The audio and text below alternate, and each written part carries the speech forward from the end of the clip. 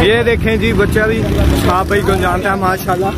बच्चे का जज्बा चेक करें आप छाप। दोस्तों, पाकिस्तान में शहाब भाई के पैदल दौरान सफ़र कुछ बच्चों की वीडियो सोशल मीडिया पर दोस्तों खूब वायरल हुई।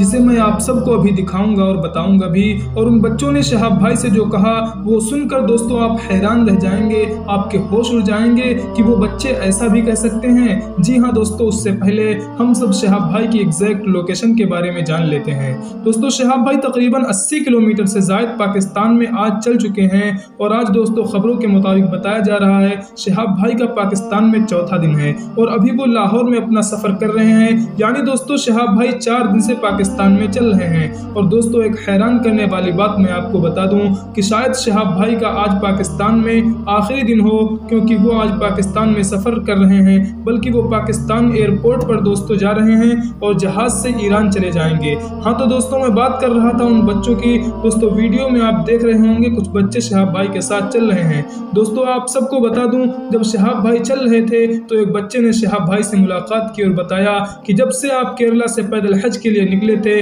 तब से मैं आपका इंतज़ार कर रहा हूँ। आपकी राहें देख रहा था और अल्लाह पाक से दुआ कर रहा था कि आपका सफ़र हमारे पाकिस्तान से होकर गुजरे, ताकि मैं आपसे मुलाकात कर सकूँ। और आज अल्लाह पाक ने वो दिन लाया और मैंने आपसे मुलाकात कर ली।